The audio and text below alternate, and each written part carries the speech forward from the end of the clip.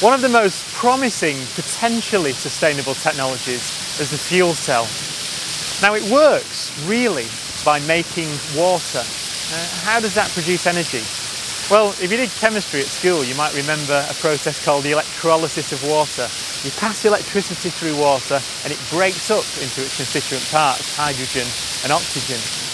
Well, that must mean that if you can get hydrogen and oxygen and stick them together again, then you get energy out, you produce electricity. And that's how a fuel cell works. Basically, you get hydrogen fuel, and that's the tricky bit, but assuming you can get that in a sustainable way, you put it into the fuel cell and a catalyst, which can be something like platinum, causes the hydrogen to split up. The electron just strips off the hydrogen molecules. The hydrogen then moves along to another electrode at which oxygen is present. And the hydrogen can combine with the oxygen.